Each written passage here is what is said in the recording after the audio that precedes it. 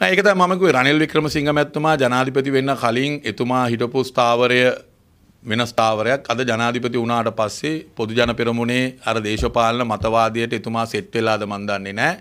අද එතුමා ජනාධිපතියා ආරක්ෂක ඇමතිවරයා හැටියට මේ දැන් හැම තැනම පොලිසිය ගිහිල්ලා අත්අඩංගුවට ගැනීම සිදු වෙනවා. හෙට අනිද්දා වෙනකොට විපක්ෂ නායකතුමාගේ කාර්යාලයටත් එයිද දන්නෙත් නැහැ. එවැනි තත්ත්වයක් තියෙන. ඒ උඩ තමයි මම කිව්වේ ජාත්‍යන්තරව මානව හිමිකම් සංවිධාන හා විදේශීය අපිට උදව් කරන රටවල් ඔක්කොම මේව දිහා බලාගෙන ඉන්නවා. මේ මර්ධනයන් තුලින් කවුරුවත් අපිට උදව් කරන්න එන්නේ නැහැ. ඒක අපිට පැහැදිලි. අර විශේෂයෙන්ම අර ගුවන් යානා ශ්‍රී ලංකන් එයාර්ලයින් එකේ ඒ ගුවන් යානයට ගිහිලා අත්අඩංගුවට ගත්ත ඒ තරුණයා එදා දවසේ ජාත්‍යන්තර මාධ්‍යවල හෙඩ්ලයින් නිවුස් එකක් බවට පත් වුණා.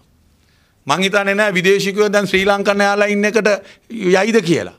සම්පූර්ණයෙන්ම ශ්‍රී ලංකන් එයාර්ලයින් එකේ තිබුණු අර බ්‍රෑන්ඩ් එක විනාශ කරලා දැම්මා.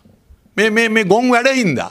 එහෙමනම් එයාවට වරන්තුවක් තියෙනවා නම් ඉමිග්‍රේෂන් එකේ එයාව නවත්තන්න තිබුණා. එතන අල්ලන්න තිබුණා.